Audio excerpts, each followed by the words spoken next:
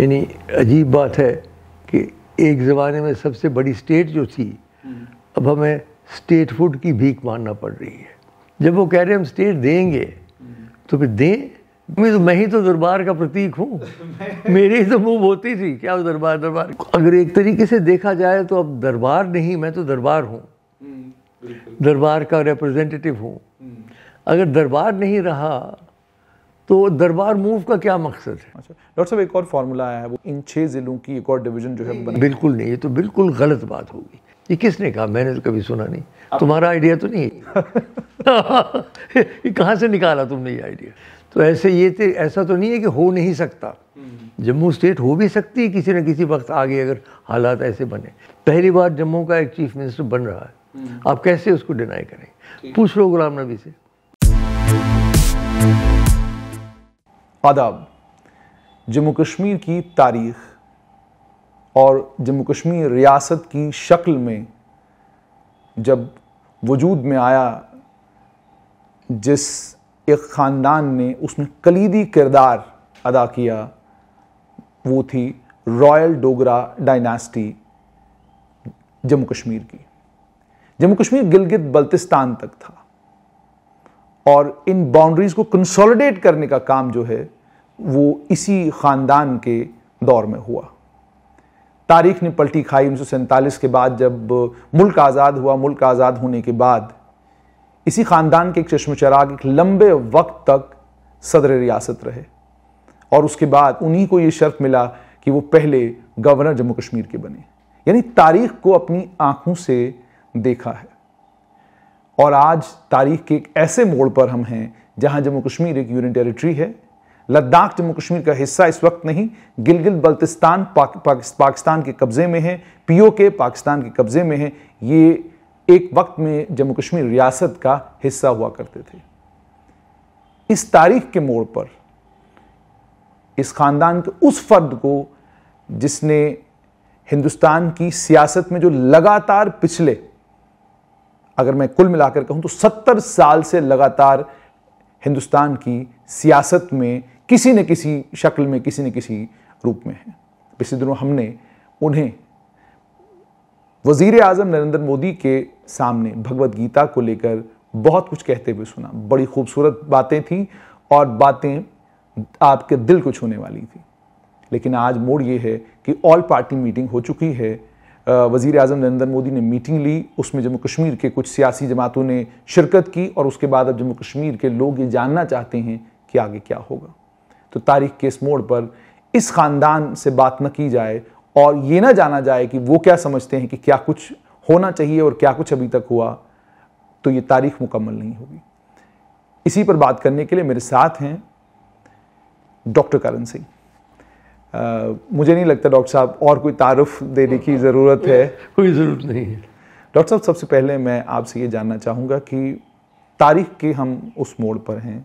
जहाँ आपके ख़ानदान ने जिस रियासत को लखनपुर से गिलगित बल्तिस्तान स्कर्दू तक स्ट्रेच किया था वो रियासत अब दो यूनियन टेरिटरीज में बढ़ गई है। एक लद्दाख है एक जम्मू कश्मीर है। पहले तो ये जो तारीख का मोड़ आया है इसको कैसे देखते हैं आप? देखिए आपने ठीक कहा कि हमारे पूर्वजों ने ये रियासत बनाई थी। ये अंग्रेज़ों के वक्त जम्मू कश्मीर सबसे बड़ी रियासत थी। चौरासी हज़ार मुरबा मील थी। हैदराबाद उससे बयासी हज़ार थी, हमारी सबसे बड़ी रियासत और जैसे आपने कहा, कहाँ कंडी से लेके गिलगित, बल्तिस्तान, जो करीब करीब रूस का बनना लगता है, और फिर लद्दाख, जो तिब्बत का बनना लगता है, चीन का बनना लगता है पीओके, जो पाकिस्तान का बनना लगता है अब। तो ये सब बड़ा, एक बड़ा कारनामा हुआ। पहली बात तो मैं कहना चाहता हूँ, इस रियासत को इकट्ठा करने का जो शौर्य है, वो अभी तक डोगरा फौज को नहीं मिला, डोगरों को नहीं मिला। लोग समझते जम्मू कश्मीर हमारा है, लेकिन बना कैसे जम्मू कश्मीर? कितनी कुर्बानियाँ दी डोगरा फौज ने। कहाँ जाके लड़ाइयाँ लड़ी? जहाँ आज तक भी जुनेद आज तक भी पहुँचना बड़ा मुश्किल होता है। वहाँ जाके पंद्रह, सोलह हज़ार फुट के ऊपर लड़ाइयाँ लड़ी। लद्दाख में लड़ी, गिलगित में लड़ी। कितनी कितनी लोगों ने अपने वहाँ ज़िंदगी जनरल जोरावर सिंह जैसे एक दुनिया में माने हुए जर्नैल थे वो भी वहाँ अल्टीमेटली उन्होंने अपनी जान दे दी।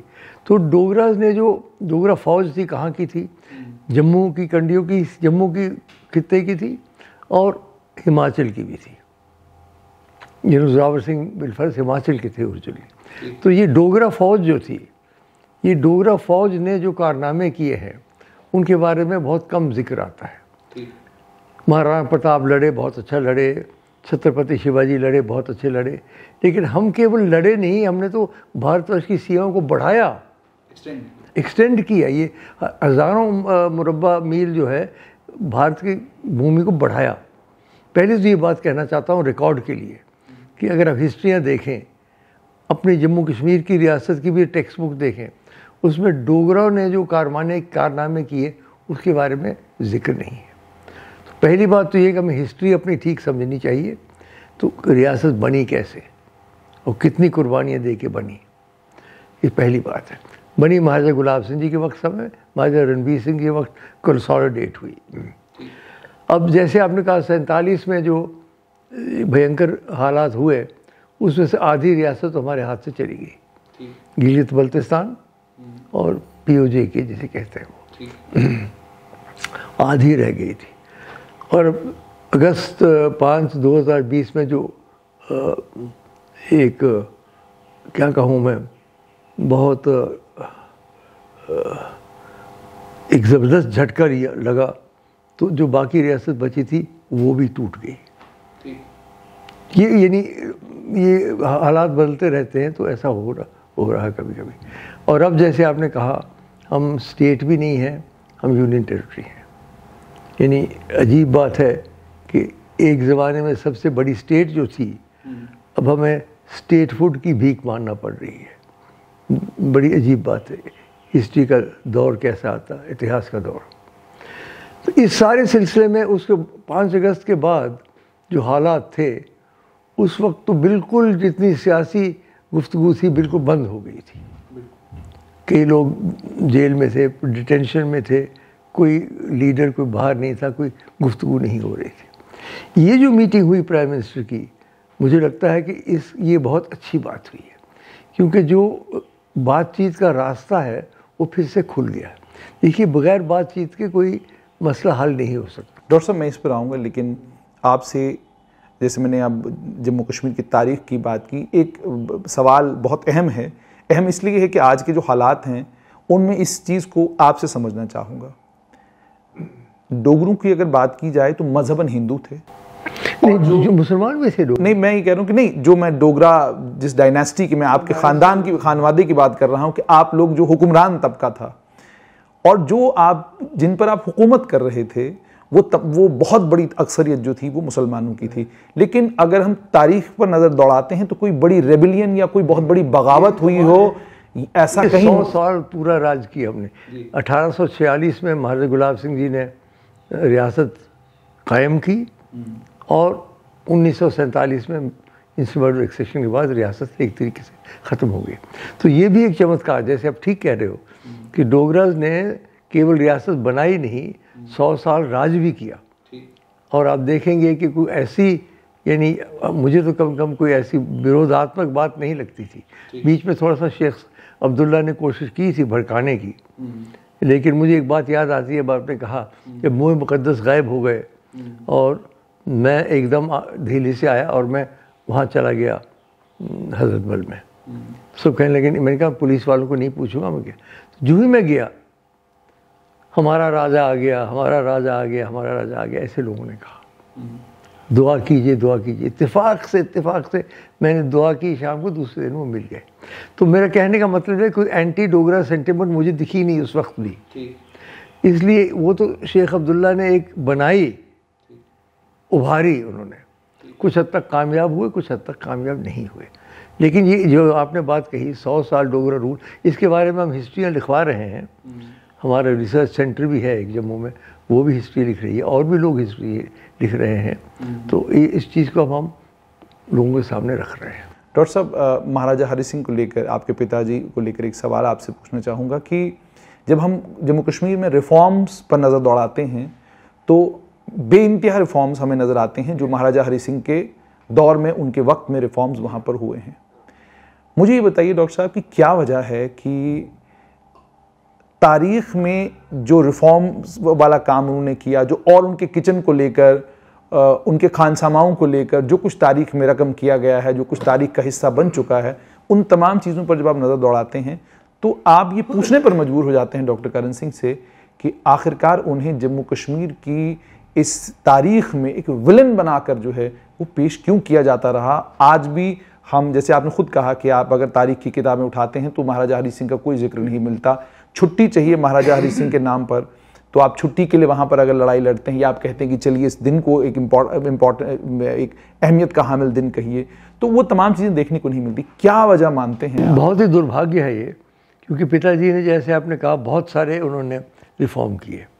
और जो स्टेट सब्जेक्ट बनाया, जिसके बारे में कहा गया कि इतने बड़ी भारी नुकसान हुआ लोगों को, नुकसान कोई नहीं हुआ, उन्होंने तो नौकरियाँ और ज़मीन बचाने के लिए कानून बनाए थे, जो 370 और 35 ए में दाखिल की गए थे। आइडिया ये था कि बाहर के लोग, पंजाब के लोग, दूसरे के लोग बहुत धनवान थे।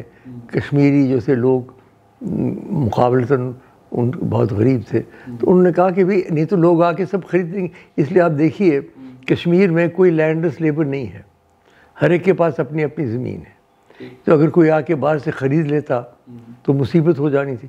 तो उन्होंने ये जो कानून बनाए थे लोगों को बचाने के लिए बनाए थे। लोगों को तंग करने के लिए नहीं बनाए थे। जैसे आपने कहा बहुत ही दुर्भाग्य है कि उनका जो 1910 में वो ताजपोशी हुई उनकी गद्दे नशीन हुए। और उन्होंने जो किया उनकी उसकी कोई कदर नहीं है। सिर्फ़ बाद में उनको बताया गया देखो जी ये कर रहे थे वो कर रहे थे। ये भी ठीक है ये जो मैंने कहा हिस्ट्री ठीक करनी है उसमें महाराजा गुलाब सिंह जी से लेके महाराजा हरि सिंह तक सबकी हिस्ट्रियाँ जो है ठीक होनी चाहिए। आपको लगता है कि हिस्ट्री को मसक किया गया है? उसके अंदर जो इसमें कोई शक नहीं है। क्या वजूहत मानते हैं इसकी लोगों के खिलाफ हो गए और उन्होंने सोचा कि शेख अब्दुल्ला शेख अब्दुल्ला मेन थे क्योंकि शेख अब्दुल्ला को खुश करने के लिए डोगर्स को डाउन करो। और वो सारा जो माहौल उस वक्त बना हुआ था वो माहौल एंटी मोनर्की था। ठीक। है मोनर्की तो यूँ भी ख़त्म हो रही थी सारी। सारे हिंदुस्तान में ख़त्म हो गई केवल सिर्फ़ हमारी रियासत में थोड़ी ख़त्म हुई। पाँच सौ रियासतें थी वो कहाँ गई? जाना तो सभी को था। लेकिन हमारे यहाँ शेख अब्दुल्ला ने एक बहुत बड़ा जलसा बनाया कि हम शख्सी रूल से अब मुक्त हुए बड़े उन्होंने चिराग वगैरह लगाए कश्मीर में बड़ा भारी। ये जो बातें उन्होंने की ना इसमें डोगरों को और भी तकलीफ़ हुई। तो इसलिए एंटी डोगरा एटीट्यूड जो लेखक हैं हिस्ट्री कुछ तो सिख लेखक हैं जो।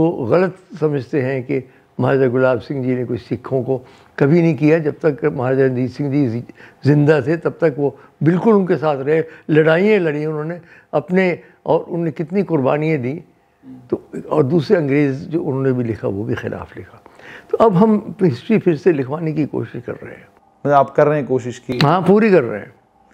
डॉक्टर साहब, एक और अहम बात जो है, तारीख से ही जुड़ी हुई बात है, वो ये है कि डॉक्टर साहब आपके पिताजी महाराजा हरी सिंह जो है जब जम्मू कश्मीर से उन्नीस सौ सैंतालीस में वो निकले और बॉम्बे चले गए, उसके बाद वो कभी दोबारा अपनी उस रियासत में वापस नहीं आए, कभी दोबारा उस रियासत को जिसको उन्हें अपने दौर में अपने वक्त में जहाँ इतने सारे रिफॉर्म्स उन्हें लाए। आज हम जम्मू कश्मीर बैंक की बात करते हैं वो उनकी देन है। आज हम हॉस्पिटल की बात करते हैं वो उनकी देन है। कई और चीज़ें हैं।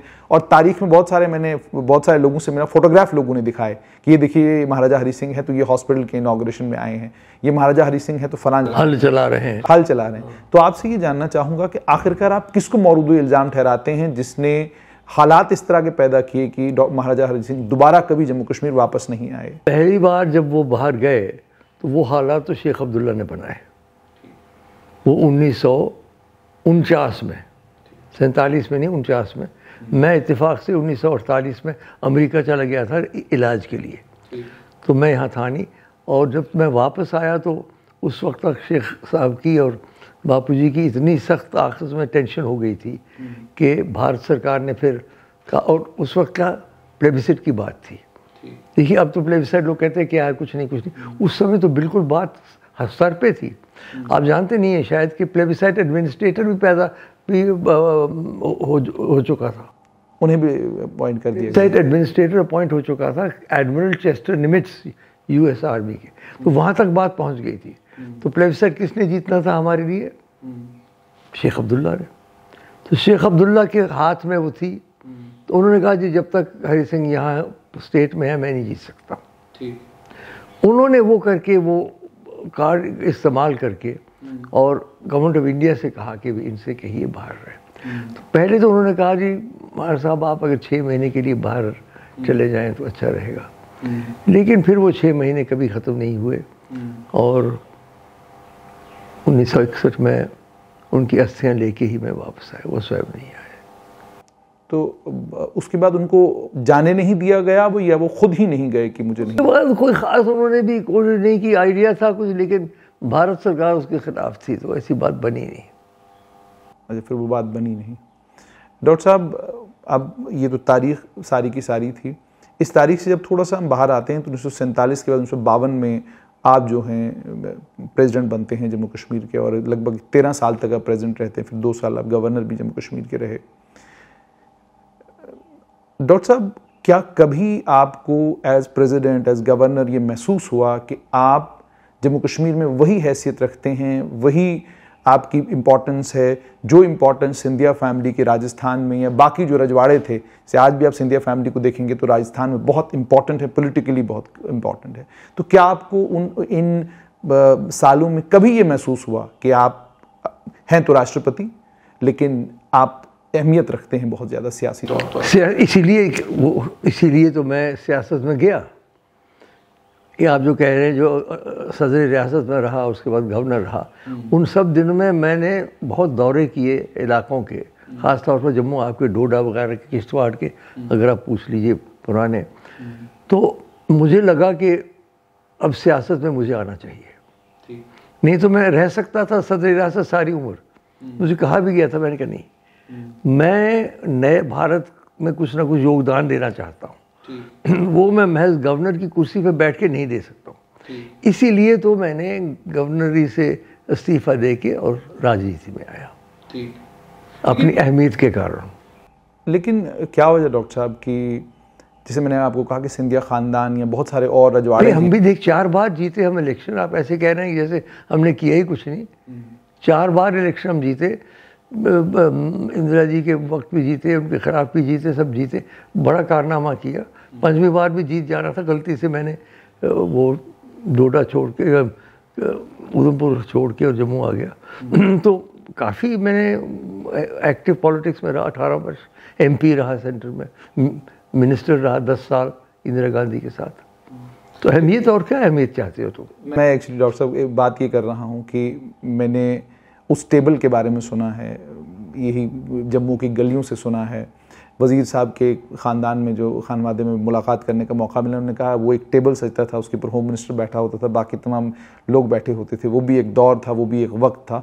और उस दौर के बाद आप सियासत में तो बड़े एक्टिव रहे और आपने सियासत भी जम्मू कश्मीर में की लेकिन वो जो सेंट्रल फिगर सियासत का जो है वो अक्सर व बेशतर कश्मीर में रहा चाहे वो शेख अब्दुल्ला थे उनके बाद उनके बेटे डॉक्टर फारूक अब्दुल्ला। कश्मीरों की है ना कश्मीरियों की। ज़ाहिर है अक्सरियत जहाँ है वहीं ज़्यादा सियासी ताकत होगी। तो आप करीब करीब कश्मीरी ही बने सब। हम्म। एक हमारे गुलाम नबी बने जम्मू से। हम्म। वो भी मैं बीच में मैंने अड़ा दिया पैर वो भी उस वक्त भी कुछ गड़बड़ हो रही थी। हम्म। मैं वर्किंग कमेटी में था मैंने कहा नहीं हर सूरत में बनाना है इनको। अगर इनको आपने नहीं बनाया एक तो पार्टी हमारी ख़त्म हो जाएगी। क्योंकि मुफ्ती के साथ हमारा माहा था। तीन साल वो करेंगे तीन साल हम करेंगे। तो हमारी ज़्यादा सीटें थी लेकिन मुफ्ती साहब ने कहा मुझे पहले थी हमने कहा ठीक अब जब तीन साल ख़त्म हुए जुनेद तो इंट्रीग शुरू हुई कि इनको और तीन साल दिया जाए। मैं नाम नहीं लेना चाहता हूँ किन किन किया क्या किया। तो वर्किंग कमेटी में जब आया किसी मैं बड़ा सख्त अड़ गया। हालाँकि वो इंदिरा जी और वो मनमोहन सिंह दोनों स्टंड हो गए। मैंने कहा देखिए। सोनिया गांधी। सोनी सॉरी सोनिया गांधी। बस देर इंदिरा जी की मैं कैबिनेट की बात पहले कर रहा हूँ। तो मैंने कहा देखिए अगर आपने नहीं इनको बनाया दो बातें होंगी। एक तो लोग कहेंगे पर हम वोट क्यों दें? कांग्रेस को अगर उन्हीं को दे रहे तो उन्हीं को वोट दे। दूसरा मैंने कहा जम्मू आप हमेशा के लिए राइट ऑफ़ कर दो। पहली बार जम्मू का एक चीफ मिनिस्टर बन रहा है। हम्म। आप कैसे उसको डिनाई करें? पूछ लो गुलाम नबी से। उसको सारा पता हो। वो भी उस कमेटी मीटिंग में बैठे थे। तो मगर गर्जे की जो आपने बात कही अक्सरियत क्योंकि कश्मीरियों की थी इसलिए ज़्यादातर कश्मीरी ही रहे। बरसर इकतदार। डॉक्टर साहब जम्मू कांग्रेस का जो वर्किंग कल्चर है उस वर्किंग कल्चर की अगर मैं बात करूँ तो डॉक्टर करण सिंह भी एक वज़ीर आला के तौर पर जम्मू कश्मीर में आ सकते थे। डॉक्टर साहब नहीं विक्रमादित्य सिंह आ सकते थे अजात शत्रु सिंह आ सकते थे? किस हैसियत में आते हम? चीफ मिनिस्टर बन के? मैं आपकी बात तो चीफ मिनिस्टर की नहीं कर रहा आप तो सदर रियासत रह चुके हैं लेकिन मैं बात कर रहा हूँ विक्रमादित्य सिंह वो कैसे वो तो अभी अभी शुरू की है पॉलिटिक्स उन्होंने वो कैसे बनेंगे चीफ मिनिस्टर लेकिन क्या डॉक्टर साहब इस चीज़ को इस चीज़ पर आप को अफसोस होता है कि सियासत जो है जो मैंने आपको जैसे कहा कि सैंतालीस तक हाकिम जो हैं वो किसी एक मज़हब से ताल्लुक़ रखते हैं हुकूमत एक बहुत बड़े तबके पर करते हैं जो एक दूसरे मज़हब से ताल्लुक़ रखते हैं। सैंतालीस के बाद पासा पलटता है हुकूमत किसी और के पास आती है और आज 2021 है। बड़ी बेवाकी से ये सवाल पूछ रहा हूँ हमने कभी किसी डोगरे को या कभी किसी हिंदू मज़हब से ताल्लुक़ रखने वाले किसी जम्मू वाले को जम्मू कश्मीर का वज़ीर आला बनते हुए नहीं देखा? नहीं देखा ज़ाहिर है। कैसे देखते? जब कश्मीरियों की अक्सरियत है और कश्मीर में सीटें ज़्यादा है तो जम्मू का चीफ मिनिस्टर कैसे बनेगा? मुमकिन नहीं है संभव नहीं। डॉक्टर साहब एक और चीज़ मैं थोड़ा तारीख का मुताला कर रहा था तो वहाँ कहीं पर मैंने पढ़ा कि एक वक्त वो भी था जब आप ये कहते थे कि जम्मू को जो है मुकम्मल स्टेट का दर्जा मिलना चाहिए और हिमाचल के कुछ डिस्ट्रिक्ट इसके साथ होने चाहिए। बहुत पहले कहा था मैंने। उसकी उन्नीस सौ चौंसठ में कहा था। बताइए सिक्सटी फोर में। उस वक्त मैंने कहा क्योंकि चलो उस वक्त जो बात मैंने कही बहुत सब मेरे ख़िलाफ़ हो गए बहुत मुखालफत हुई हर हर खत्ते से।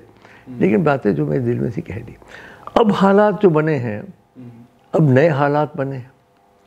एक तो हम रियासत से लेके डिमोट हो गए यूनियन टेरिटरी। तो जो पहला आपने सवाल पूछा था अब आप इतिहास पे चले गए कि ये जो मीटिंग हुई थी इसके बारे में मेरा क्या ख्याल है? उसका मैं जवाब दे ही रहा था जब आप चले नहीं पहले मैं ये जानना चाहूँगा स्टेटहुड को लेकर। स्टेटहुड के वही कह रहा हूँ कि अच्छी हुई मीटिंग मैंने सुना लोगों ने काफ़ी खुल के बोले प्रधानमंत्री सुनते रहे। अब आगे नक्शा क्या बनेगा? इसमें कोई शक नहीं है कि अगर सियासत शुरू करनी हो और वो भी डेमोक्रेटिक सियासत शुरू करनी हो तो इलेक्शंस होने ज़रूरी हैं। अब इलेक्शंस होने से पहले डिलिमिटेशन होना ज़रूरी है। क्योंकि बहुत सारे चीज़ें बदल गई हैं। बिलफर्ज जो तीन लाख हमारे सियालकोट वाले रेफ्यूजीज थे जिनको वोट नहीं था जिनको अब वोट मिल गया है उनको भी कहीं ना कहीं डालना है। हो सकता है गुजरों के लिए कोई शेड्यूल ट्राइब की वोट बन जाए। हो सकता है कोई कश्मीरी पंडितों के लिए बन जाए। क्या क्या क्या कर सकते हैं? मतलब सोचा जा सकता है। तमाम लोगों को रिप्रेजेंटेशन मिले। तो ऐसा डिलिमिटेशन कमीशन कर सकती है। तो पहला काम तो डिलिमिटेशन है। अब वो डिलिमिटेशन कमीशन कब तक वो काम अपना करेगी नहीं करेगी ये देखने की बात है। जल्दी भी कर सकती है साल डेढ़ साल भी लगा सकती है। वो हमें देखना पड़ेगा कि क्या वो करती है। इस समय गई हुई है क्या वो हाँ डिलिमिटेशन कमीशन आज से ही काम शुरू क्या। ख्याल है? क्या उनका मुझे तो ये लगता है कि डीलिमिटेशन कमीशन अपना काम करेगा तमाम लोगों से सारी बातें सुनेगा। लेकिन मैं आपसे ये डॉक्टर साहब जानना चाहता हूँ कि स्टेटहुड को लेकर जम्मू की स्टेट में भी बात ख़त्म नहीं हुई ना बेजो है तुम बहुत जल्दी में हो नौजवान है ना। ज़रा थोड़ा सा तदब्बर करो। ऐसा है कि पहली बात मैंने कहा डिलिमिटेशन होनी चाहिए। दूसरी बात जो मेरे जहन में है वही है कि इलेक्शन से पहले हमें स्टेटहुड मिलनी चाहिए। क्योंकि अगर हम इलेक्शन लड़ेंगे तो यूनियन टेरिटरी की हैसियत में क्यों लड़े? हम स्टेट की हैसियत में लड़ें? जब वो कह रहे हम स्टेट देंगे तो फिर दें यानी दें भाई जैसे मैंने कहा हमारा हक है। हम कोई ऐसी बात नहीं मांग रहे हैं जो नाजायज़ है। और मुझे लगता है ये हक ये सब कश्मीरियों के भी यही है डोगर्स को यही है सबका यही है कि भाई स्टेटहुड मिलनी चाहिए। क्योंकि स्टेटहुड से जो हमें कम कर दिया थे वो किसी के गले से उतरी नहीं है। तो डिलिमिटेशन हो उसके बाद स्टेटहुड हो उसके बाद इलेक्शन हो। तो क्या डॉक्टर साहब अब आप ये मान मतलब क्या आपको नहीं लगता कि जम्मू को जो स्टेटहुड के लिए बात की जा रही है जम्मू मुक्ति मोर्चा भी एक वक्त में बना था इस वक्त भी कुछ एक जो है सियासी जमातें वहाँ पर नई उभरी हैं जो जम्मू की स्टेटहुड की बात कर रही हैं। तो क्या आप इसको मानते हैं कि स्टेटहुड अभी भी एक ऑप्शन है जम्मू के लिए या अब आपको लगता है कि तारीख इतनी नहीं थियोरेटिकल ऑप्शन तो है जैसे कितना सियासत कितनी बदल गई है हमें क्या ख्याल भी कभी नहीं हो सकता था कि हमारे यूनियन टेरिटरी बन जाएँगे हम। तो ऐसे ये थे ऐसा तो नहीं है कि हो नहीं सकता। जम्मू स्टेट हो भी सकती है किसी न किसी वक्त आगे अगर हालात ऐसे बने। लेकिन फ़िलहाल इस वक्त मुझे लगता है कि वो होना संभव नहीं है। मुमकिन नहीं है। क्योंकि वो चाहते हैं कि इलेक्शन हो इलेक्शन को बैलेंस्ड भी हो। अगर जम्मू अलग हो गया तो फिर एक पूरा एक खिता अलग हो जाता है। तो वो कोई मानने वाला इस समय है नहीं। लेकिन होगा या नहीं होगा भविष्य में क्या कह सकता है मैं रूल आउट नहीं करूँगा। आपको लगता है वो भी मुमकिन में से मुमकिन है किसी वक्त अगर हालात और बदलें इतने बदल गए हैं तो क्या पता आगे क्या होगा। लेकिन इस वक्त नहीं। इस वक्त इस वक्त नहीं। डॉक्टर साहब दरबार मुँह प्रैक्टिस आपके खानवादे की थी आप लोगों ने क्या कहते हैं दरबार मुँह का ये जो मैं तो मैं ही तो दरबार का प्रतीक हूँ। मेरी तो मुँह होती थी क्या दरबार दरबार मैं डॉक्टर साहब ये आपसे समझना चाहता हूँ क्योंकि आप तो वही हैं जिन्होंने इस प्रथा को शुरू किया था इस एक तारीख को शुरू किया था। पहले तो ये जानना चाहूँगा बहुत सारे लोगों के लिए कश्मीर के लोगों के लिए जम्मू के लोगों के लिए दरबार मुँह आप करते क्यों थे?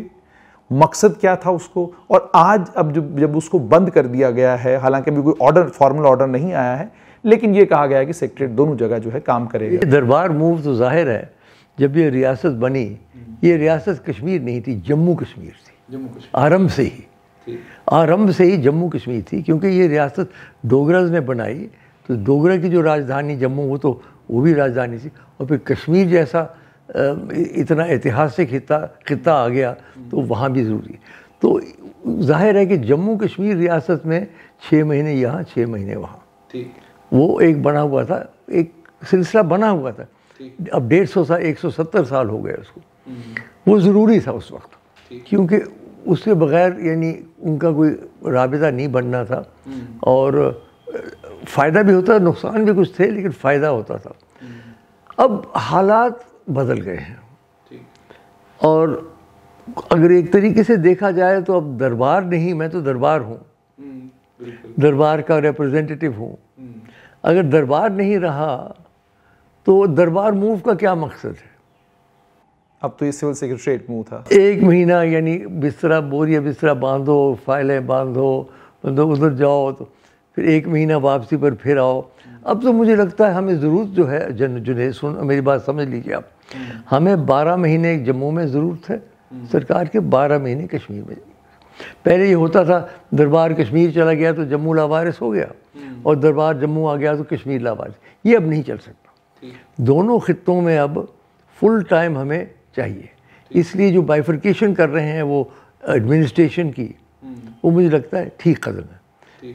ऐसा है कि governor chief minister chief justice सिर्फ़ ये कैबिनेट इतना सा रिमूव करे बाकी एक मुस्तकिल दोनों खितों में एडमिनिस्ट्रेशन होनी चाहिए। यानी आप भी कहते हैं कि अब दरबार मैं कहता हूँ कि अब अब वक्त हो गया है देखिए ना। किस्सा तमाम शुद अब कोई हाँ हाँ सवाल ये है ना कि बहुत सारी बातें अब दरबार होते थे तो बापू जी बैठते थे दरबार लेते थे वो भी मैंने देखा। सब लोग सब हाँ मुझे याद है जब उन्नीस सौ उन्होंने किया तो दरबार हॉल कश्मीर जो बड़ा खूबसूरत हॉल था वो जल गया वो राजभवन। रा, वो राजगढ़ वाला झेलम के ऊपर और वहाँ बाप जी बैठते थे सिंहासन पर और सारे कोटियर बैठते थे और एक एक करके नज़र करके आते। वो भी मैंने देखा वो था दरबार। अब दरबार तो कोई लेने वाला है नहीं। इसलिए मुझे लगता है वैसे सेंटिमेंटली हम कह सकते हैं कि दरबार वो था। लेकिन अब तो मुझे लगता है कि एक मुस्तकिल हमें दोनों खितों में एडमिनिस्ट्रेशन चाहिए। डॉक्टर साहब, एक बड़ा अहम सवाल। पाँच अगस्त 2019 को जो कुछ हुआ, किसी ने आपसे नहीं पूछा, मैं पूछ रहा हूँ कि मैं आपके सारे इंटरव्यूज़ जितने हुए, वो मैंने देखे। आप किस चीज़ को जिम्मेदार मानते हैं पाँच अगस्त 2019 के लिए? क्या आप ये मानते हैं कि जो सेपरेटिस्ट क़्यादत कश्मीर, वादी कश्मीर की थी, उसकी वजह से हुआ? टेररिज्म की वजह से हुआ मिलिटेंसी की वजह से हुआ? या जो मेन स्ट्रीम सियासी जमातें जम्मू कश्मीर की हैं उनकी गलतियों का खमियाजा पाँच अगस्त 2019 को हमें भुगतना पड़ा। या आप ये मानते हैं कि बीजेपी का एक क्योंकि जम्मू कश्मीर को लेकर अक्सर ये कहा जाता है कि ये ये उनके ये देखिए उनके वो उसमें मैनिफेस्टो में। हमेशा रहा पचास साल से। हालात बाकी जो आपने सही सब ये फैक्टर्स आते हैं टेररिज्म भी एक फैक्टर थी। और कश्मीर के नौजवानों को एक अनरियलिस्टिक सपने दिए जा सकते थे। पहले कहते हमें क्या चाहिए? पाकिस्तान जाएँगे। फिर कहते हमें क्या चाहिए? आज़ादी चाहिए। यहाँ तक चला गया कि हमें क्या चाहिए? वो निज़ाम मुस्तफ़ा जाइए चाहिए। तो देखिए ये बातें चलती चलती ऐसी कश्मीर के नौजवानों को बरगला दिया गया। उनको उम्मीद दी गई कि भाई तुम अगर ये करोगे तो ये मिलेगा ये मिलेगा। जो बड़ा बड़ी बदकिस्मती है। क्योंकि हज़ारों मारे गए हैं। हमारे इतनी दुख की बात है कि ये पिछले तीस साल से जब से वो फिर से शुरू हुआ ये सारा सिलसिला उन्नीस सौ उनानवे से। से लेके कितने नौजवान मारे गए गाँव गाँव में कब्रिस्तान है। ये ये हमारे देखिए ये भी हमारे बच्चे से सारे। हमारे साथ ही इनके बुज- बुज़ुर्ग पले थे हमारे राज्य में। तो ये किसी को उनके बारे में दर्द नहीं है। मारे गए तो मारे जी क्यों उठा रहे हैं? हमें हमें कोई संवेदनशीलता दिखानी चाहिए। वो है नहीं। तो वो भी एक कारण है टेररिज्म भी एक कारण है मिलिटेंसी कारण है। और गलतियाँ जो आप कह रहे हैं उनको गलतियाँ माना जा सकते हैं। देखिए कोशिश तो कांग्रेस की कोशिश तो यही रही कि भाई जम्मू कश्मीर सेटल हो जाए उसको कुछ ऑटोनमी दी जाए। लेकिन उस वक्त ऑटोनमी की बात थी। सेपरेशन की बात तो खैर सेपरेटिस्ट करते थे वो अलग है। वो हुरियत वाला जो करते थे या दूसरे जो करते वो मेन स्ट्रीम में नहीं मेन स्ट्रीम में यही था कि कितनी ऑटोनमी मिलनी चाहिए। फ़र्क यही था कि नेशनल कॉन्फ्रेंस ज़्यादा ऑटोनमी चाहती थी कांग्रेस चाहती थी 75 की एग्रीमेंट उस पर चाहती यही बातें हो रही थी। इससे ज़्यादा कुछ नहीं। इससे ज़्यादा कुछ नहीं। तो ये सब बातें ख़त्म हो गई उन्होंने सारा एक ही झटके में सब ख़त्म कर दिया। हो तो अब गलती कहिए क्या कहिए मैं कह नहीं सकता वो कोशिश जैसे डॉक्टर मनमोहन सिंह के मैं बहुत उनकी कदर करता हूँ बहुत अच्छे समझदार आदमी। उनकी और मुशर्रफ की बातें जो हो रही थी वो कोई ना कोई तस्वीर पहुँच रहे थे पता नहीं क्या चीज़ थी। डॉक्टर साहब ने मुझे कहा कि मैं एक टेलीफोन कॉल के लिए इंतज़ार कर रहा था I was going to fly to Rawalpindi वो टेलीफोन कॉल आया नहीं। मुशर्रफ ने चीफ जस्टिस को पकड़ लिया और वो वहाँ से डाउन हो गया। कुछ ऐसी बदकिस्मती एक ग्रह है कि क्या है? कि जब भी कोई बात बनने लगती है तो कोई ना कोई बात हो जाती है। अब जो हालात बने हैं, डॉक्टर साहब, जम्मू कश्मीर में, इस वक्त जो हालात हैं यूनियन टेरिटरी है, और जो अलगाववादी खेमा सेपरेटिस्ट खेमा कहते हैं, वो तो इस वक्त पिक्चर में ही कहीं नहीं है। कहाँ हैं, कोई पता नहीं। कोई स्टेटमेंट भी उनकी तरफ़ से नहीं आ रहा। मेन स्ट्रीम पोलिटिकल पार्टीज़ हैं पीडीपी है नेशनल कॉन्फ्रेंस है। आप आने वाला कल जम्मू कश्मीर का डॉक्टर करण सिंह कैसा देखते हैं? देखिए अगर तो इलेक्शन फेयर हो जाते हैं तो देखते हैं जो रिज़ल्ट निकलता है। क्या जम्मू के एलिनेशन को एड्रेस कर पाएँगे? नए नए इंतबात में डिलिमिटेशन के बाद क्या आपको तवक्का है? क्या करने की? कि जम्मू की जो एलिनेशन है जम्मू के लोग क्योंकि एलियनेशन हाँ एलियनेशन है। जम्मू की वैसे परिस्थिति इम्प्रूव होगी मुझे लगता है। आपको लगता है? मुझे लगता है इम्प्रूव इम्प्रूव का मतलब ये नहीं कि उनकी अक्सरियत बन जाएगी लेकिन बेहतर होगी पहले से। लेकिन डॉक्टर साहब क्या बेहतर होने से जो सब रीजनल एस्पिरेशंस हैं मैंने तभी आपको कहा कि तारीख का अलमिया है कि आप लोगों के जो अपने तारीख के वो जो सौ साल थे काश उनकी उनको रकम किया गया होता तो शायद हमको ये मालूम पड़ता आज कि सब रीजनल एस्पिरेशंस को एड्रेस करने के लिए क्या फार्मूला उस ज़माने में था। सब रीजन से मेरी मुराद राजौरी पुंछ सांबा कठुआ डोडा बदरवा किश्तवाड़ रामबन इन। तो क्या ये मुमकिन हो पाएगा कि आप डिलिमिटेशन के बाद जो पिक्चर उभर कर आएगी उससे क्या सब रीजन एस्पिरेशन हो? पाएगा क्यों नहीं हो, हो पाएगा? ये डोडा है और पुंछ रजौरी है इनके लिए। कश्मीर में भी पहाड़ी इलाके हैं। बहुत सारे सिर्फ़ जम्मू में नहीं है। करना है वो करना है कुपवाड़ा वानीपुर के आगे जो है वो तो उनके लिए भी कुछ होना चाहिए। अच्छा। तो आप मानते हैं कि ये जो डिलिमिटेशन हो इसमें अ, मतलब रिजर्वेशन होनी चाहिए? क्या आप कश्मीरी पंडितों के लिए रिजर्वेशन कॉन्स्टिट्यूशन के तहत ही हो सकती है ना भाई। आपने देखा वो मराठा रिजर्वेशन सुप्रीम कोर्ट ने रद्द कर दिया। तो या तो शेड्यूल कास्ट के होने चाहिए। शेड्यूल ट्राइब के अलबत्ता हमारे स्टेट में कोई नहीं है। अब वो हो जाएगा। अगर शेड्यूल ट्राइब आ जाए तो शेड्यूल ट्राइब कौन सी हमारे यहाँ तो गुजर है शेड्यूल ट्राइब का मतलब है जो ट्राइब्स ये नहीं कि जो सेटल्ड कम्युनिटीज है। तो गुजरों के लिए हो सकता है शेड्यूल ट्राइब का कुछ हो जाए। माइनॉरिटी के लिए पता नहीं है कि नहीं कॉन्स्टिट्यूशन में कोई बन सकता है ये नहीं बन सकता है। कश्मीरी पंडितों के लिए कॉन्स्टिट्यूशनली तो ये देखने की बात है। ये तो पर आपको लगता है कि ये लोग हैं जो मुझे लगता है कि भाई जब हो जाए अगर डिलिमिटेशन अच्छी होती है और फेयर होती है और उसके बाद इलेक्शंस फेयर होते हैं उसमें कोई धांधली नहीं होती है। तो जो नक्शा निकलेगा उसको देखेंगे आगे। वेस्ट पाकिस्तान के लोगों के लिए डॉक्टर साहब आप क्या समझते हैं कि क्या रिजर्वेशन डिजर्व करते हैं? नहीं रिजर्वेशन ही उनको तो सीटें मिलेंगी अब। रिजर्वेशन क्यों? वो तो नंबर बढ़ गया तो उनको तो सीटें सीधी मिलेंगी। जहाँ जहाँ जिस जिस डिस्ट्रिक्ट में वो बसे हैं उनको वहाँ सीटें मिलेंगी। अच्छा डॉक्टर साहब एक और फार्मूला आया है वो ये कहा जा रहा है कि डोडा रामबन और किश्तवाड़ शुपियन कुलगाम और अनंतनाग इन छः ज़िलों की एक और डिवीज़न जो है बन बिल्कुल नहीं ये तो बिल्कुल गलत बात होगी ये तो बिल्कुल एक मजहबी तौर के ऊपर अलगाववादी को बढ़ाने की बात होगी ये किसने कहा? मैंने तो कभी सुना नहीं। तुम्हारा आइडिया तो नहीं है? ये कहाँ से निकाला तुमने ये आइडिया डॉक्टर साहब बिल्कुल आखिर में आ, ये सवाल मेरे इंटरव्यू का हिस्सा नहीं है लेकिन ये मेरा ज़ाती सवाल आपसे है। आप जम्मू कश्मीर को मिस करते हैं। देखिए ऐसा है। मैं नब्बे वर्ष का हो गया हूँ। और जब मैंने मिस का मिस पूछा तो मैंने मिस से ये नहीं कहा कि वहाँ भी आपका घर है आपका कश्मीर में भी घर है। मिस से मेरी मुराद वो बहुत बड़ा वाला मिस। समझ गया मैं समझ गया।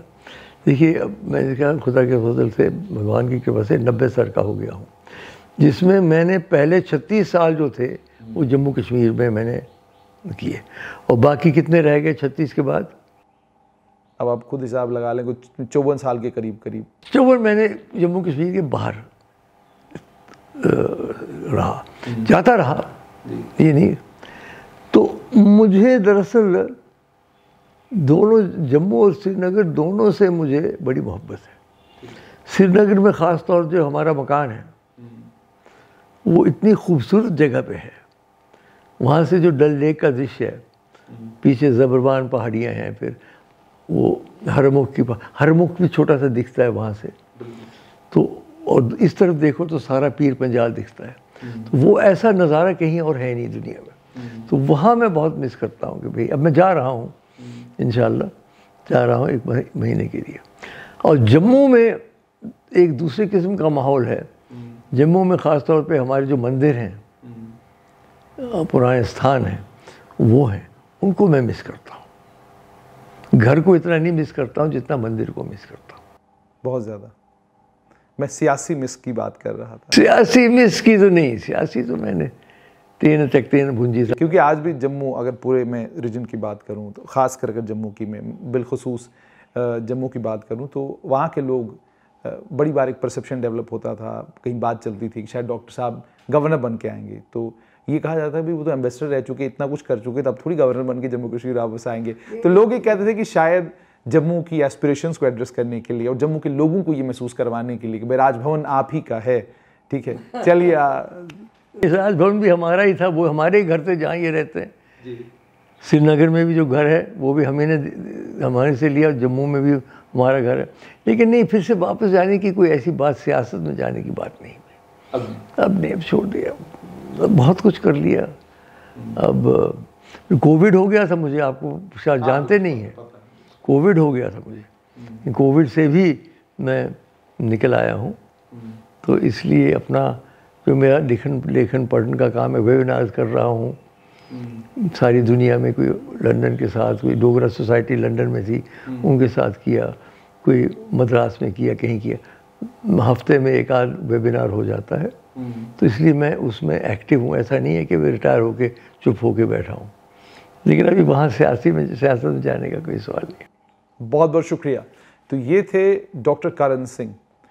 आपने डॉक्टर करण सिंह से जम्मू कश्मीर की तारीख को लेकर आज के दौर तक की जितनी भी डेवलपमेंट्स जम्मू कश्मीर में हो रही हैं, उन पर उनकी क्या राय है वो आपने साफ़ तौर पर सुन ली है। उम्मीद और तो ये कि जम्मू कश्मीर एक नए कल की ओर दौड़ दौड़ेगा। और उस नए कल में जम्मू कश्मीर के जम्मू खत्ता हो या कश्मीर खत्ता हो, दोनों खत्ते ये महसूस करेंगे कि उनकी रीजनल एस्पिरेशन और सब रीजनल एस्पिरेशन का मुकम्मल तौर पर हुकूमत ने अब ख्याल रखा। और कोई ये नहीं कहेगा कि मेरे साथ ज़्यादती हो गई मुझे भुला दिया गया, मेरे साथ ये हो गया। ये तमाम बातें जो आने वाले वक्तों में ख़त्म हो जाएँगी। बहुत बहुत शुक्रिया।